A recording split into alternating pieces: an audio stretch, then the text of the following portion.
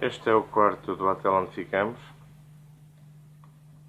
Um serviço bem à chinesa, quase incompreensível. A televisão e o rádio deixaram de funcionar ao segundo dia. Mas enfim, lá se foram fazendo as coisas. Atrasaram-nos a viagem para Pequim. Aquilo mesmo assim para todos dormir.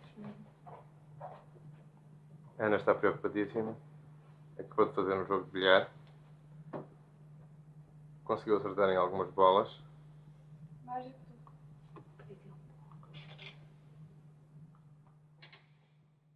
Ana, isto vai ser para toda a As pessoas não fazem ideia da diferença que faz estar a 100 km de uma dor ou a 16 mil km dela.